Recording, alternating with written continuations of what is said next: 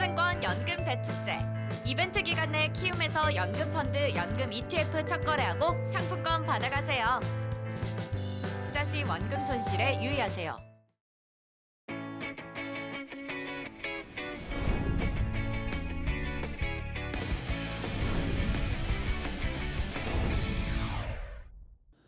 키움 모닝 노트입니다. 저희들도 이제 에, 언택트와 관련된 에, 시도를 여러 가지 좀 해보고 있는 거죠. 어제는 전화 연결했었는데요. 오늘은 서상영 팀장을 화상으로 한번 어, 연결해 보도록 하겠습니다. 안녕하세요.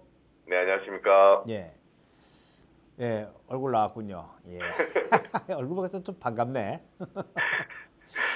자, 간밤에 미국 시장은 각종 뭐 경기 지표들도 잘 나왔고 또 어, 이 재정 정책에 대한 저기 이야기들도 있었고 올라갔는데 일단 시황부터 좀 한번 살펴볼까요? 일단 미국 증시가 일단 소매 판매가 깜짝 잘 나왔죠. 음. 이제 그러면서 급등 출발을 합니다. 어, 그런데 이제 현지 시각으로 오전 10시부터 파월 연유로장이 의회 청문회가 좀 있었는데 갑자기 밀려 내립니다. 음. 왜 이렇게 밀려내렸냐면 좀 이따 말씀드릴게요. 그 다음에 다시 이제 급등을 했고 그다음에 오후 들어가면서 상승폭을 축소하면서 마감을 했는데요. 하나하나 좀 살펴볼게요. 네. 음, 초반에 일단 미국의 5월달 소매 판매가 발표가 됐는데 어, 전월 대비 무려 17.7%나 급증을 했습니다. 뭐 예상치가 전월 대비 7.5% 증가할 것으로 예상을 했었는데 음, 뭐 큰 폭으로 증가를 했죠. 그야 뭐 당연히 4월 달에 꽉꽉 막혀 있었으니까. 그러니까요. 어 근데 여기에서 특이했던 거는 의류, 이제 옷 있지 않습니까? 네.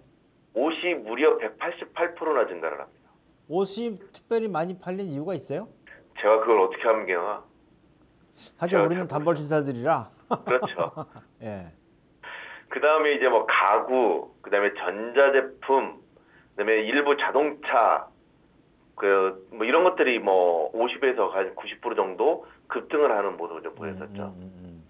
음, 그렇지만 여전히 이제 전년 대비로는 6.1% 어, 둔화되고 있기 때문에 별로 그렇게 뭐 경제 정상화를 언급하기에는 쉽지가 않고 음. 일시적인 기저 효과로 인해서 크게 증가를 했다는 점에 어, 시장이 방점을 좀 주고 있다라고 보시면 될 것 같아요. 거기다가 예. 근데 또 나는. 그 17.7%라고 하는 게 사상 최고치죠. 아, 기저 효과를 생각해 보면 4월 달엔 사실 안 움직였잖아요. 그렇죠. 네. 그러면 나는 한 50% 정도 늘어나지 않을까 싶긴 했는데 너무 좀 들늘어 들늘어났다는 생각이 들기도 하는데 시장이 네. 너무 좀 보수로 본 거 아니에요? 세상을 너무 비관적으로 보지 마세요. 싫어요. 그다음에 이제 사 근데 중요한 게 산업 생산인데요. 음, 우리하고 일단은 그 관련이 상당히 강하기 때문에 그렇죠. 어, 산업 생산을 좀 봐야 될 것 같은데 이게 전월 대비 1.4% 증가를 했습니다. 음, 음. 일단은 증가를 했다는 게 중요한 건데 문제는 이제 이게 예상치가 전월 대비 2.9%였었는데 그걸 하회했죠. 음, 근데 그것 때문에 이제 시장이 좀 문제가 좀 있고 음, 더 나아가서 이 이게 산업 생산 볼 때 전월 대비 몇 프로 증가했다 이거보다는 공장 가동률을 좀 봐야 됩니다. 음, 공장 가동률이 전월 대비 어, 지난달에 66.7%였다라면 이번에 64.8% 별로 안 좋았죠. 음, 예, 아, 시장 예상치가 66.7%였는데 어, 이걸 하회한 64.8%. 그러니까 지난달에도 64%대였었기 때문에 별로 그렇게 늘어난 게 아니에요. 그러니까 공장, 그러니까 시장에서는 경제가 재가동이 된다 그러면 공장이 어마어마하게 늘어날 거로 생각을 했었는데 음, 공장 가동률이 지난달하고 같다는 거죠. 별로 그렇게 늘어나지 않았다. 이 문제. 그러다 보니까 경기에 대한 불확실성이 높아져 있는 상황이고, 자, 그 다음부터가 이제 문제입니다. 이제 파월 연주로장이 의회 청문회를 하는데, 네. 여기서 뭐 당연하게 계속 언급해 왔었던 일부 지표가 개선되고 있지만, 뭐 코로나로 인해서 불확실성이 높아지고 있다. 뭐 당연하게 나오고 있죠. 근데 어, 시장에서 기대하고 있는 게 지금 연준 정책 중에 두 가지가 좀 있죠. 어저께 발 어, 어저께 발표됐던 거는 연준이 개별 회사채를 매입을 하겠다. 그 다음에 시장에서 기대하고 있는 거는 또 하나가 한 9월 정도에 그 수익률 제어 정책, 그러니까 일드 캡을 발표할 것이다라고 전망을 하고 있거든요. 음, 음, 자, 근데 파월이 이거를 깨버립니다. 그러니까 쉽게 말씀드려서 수익률 제어 정책에 대해서는 아직 초기 단계다. 아직 전혀 결정된 게 없다라고 주장을 해버립니다. 음, 음. 거기다가 연준이 어저께 그 개별 회사채 매입 정책에 대해서 아 우리가 단행할 거야라고 발표를 했었는데 어 그러면서 어제 사실은 미국 증시가 낙폭을 마이너스 한 3%에서 거의 플러스 1%로 바뀌었잖아요. 네. 근데 거기에 대해서도 아 그게 내가 고민해 보니까 시장 상황에 맞춰서 매입을 조정할 가능성은 높지는 않아. 그러니까 좀 조절을 할 거다. 그러니까 즉각적으로 시장에서 기대하고 있는 것처럼 막 계속적으로 증가를 할 거다라고 생각 하는 게 아니라 시장 상황을 보면서 매입을 하겠다라고 어, 보시면 돼요. 그말 이후에 갑자기 매물이 쏟아집니다. 음. 음, 그러면 당연히 보합권까지 빠졌었고요. 그러고 있는 사이에 낙폭을 축소했던 요인은 파월 연주로장이 여전히 장기적이고 지속적으로 부양 정책을 이어가고 뭐 포트폴리오 변경이나 이런 것들을 어느 정도 어 계속적으로 한번 유동성을 계속 풀겠다 이个뜻이에요. 음. 이제 그러면서 낙폭을 좀 축소했고 여기에 미국 정부가 그 지금 현재 연말까지 트럼프는 이제 재선 성공하기 위해서 연말까지 어떻게든 백신을 만들어내야 되니까 네. 그 후보 물질로 14개 정도가 있었는데 이걸 7개로 줄입니다. 그러니까 한 단계가 더 업그레이드가 된 거죠. 음. 그다음에 이제 영국의 옥스퍼드 쪽에서 이제 나온 소식이 스테로이드 관련된 치료제 중증 환자들의 어, 사망률을 30% 낮췄다라고 보시면 돼요. 음. 예, 그런 소식들이 나오면서 낙폭을 축소하면서 상승 그 상승폭을 재차 확대합니다. 네, 그러다가 물론 이제 뭐 트럼프의 1조 달러의 그 인프라 투자라든지 이런 것도 좀 있었고요. 근데 장 막판에 보시면 갑자기 또 이제 매물이 슬슬슬슬 흘러내리면서 낙 상승폭을 좀 축소하죠. 음. 이때 이제 주목할 게 주식시장뿐만이 아니었습니다. 주식시장은 상승폭을 축소했고 두 번째는 달러는 강세를 유지를 했고 엔화는 약세를 보이다가 강세로 전환을 했고 미국의 국채 금리는 상승폭을 축소했고 금 가격은 상승폭을 좀 더 확대했고 물론 이제 지금 다시 빠지고는 있지만 시간으로 자 이게 뭐냐면 뭐냐면 이게 안전자산 쪽으로 완전히 돌아선 거라고 보시면 돼요. 음. 그러니까 시장 자체가 전반적으로 왜 이런 일이 발생을 했냐? 미국의 텍사스 지역 있잖아요. 네. 텍사스 지역의 신규 코로나 확진자 수가 5일 연속 최고치를 경신하고 있습니다. 음. 어, 코로나 미국의 재확진설. 그다음에 중국도 물론 이제 베이징. 중국 이슈는 그 전에 나왔지만 음. 중국 북경 쪽에서 그 코로나 대응을 좀 한 단계 더 업그레이드합니다. 음. 학교를 전부 다 폐쇄해버리고 어쩌고 저쩌고 뭐 이런 식으로 나오면서 코로나 재확산에 대한 우려가 좀 높아진 거죠. 음. 이제 그러면서 안전자산 쪽으로 살짝 쏠림 현상이 나타납니다. 이게 지수가 많이 올라와 버리니까 거기에 대한 대응이라고 보시면 될 것 같아요.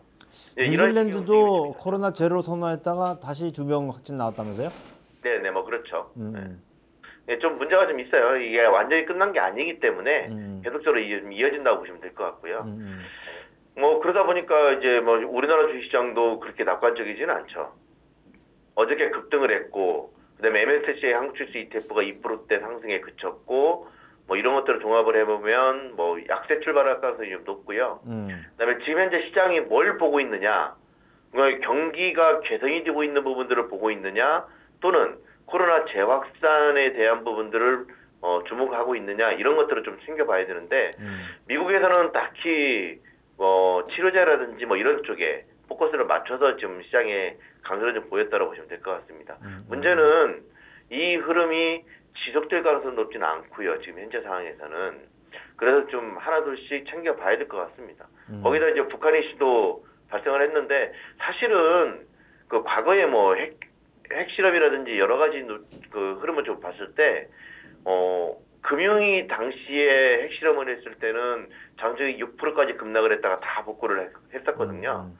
이제 뭐 그런 식의 움직임. 그러니까 그 북한 이슈는 봐야 되는 게 우리나라 환율이 급등을 하지 않으면 그 다음에 또 하나는 이게 기업 이익단에 큰 영향을 주지 않기 때문에 음. 시장에는 큰 영향을 안 준다고 보시면 돼요. 음. 예, 문제는 이제 이게 뭐 더 이제 격화되거나 예전에 뭐 연평도라든지 뭐 백령도 이런데 뭐 여러 가지 일들이 좀 많았었잖아요.